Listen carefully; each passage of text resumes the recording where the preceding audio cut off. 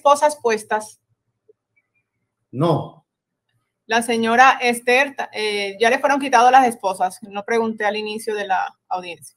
A la cárcel fue enviada una pareja de esposos de nacionalidad venezolana quienes maltrataban físicamente a sus siete hijos menores de edad cuando no llevaban el dinero establecido que pedían en las calles de Valledupar.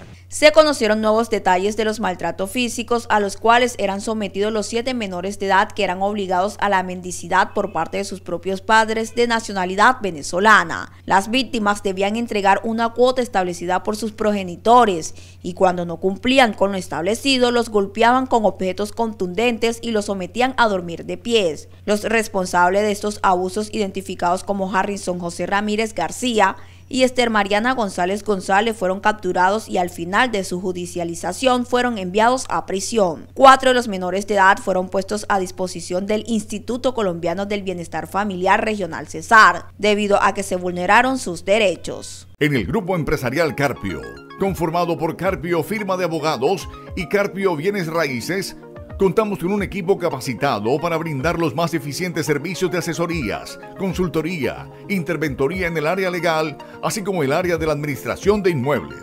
Estamos ubicados en la calle 9A número 1557, en el barrio San Joaquín.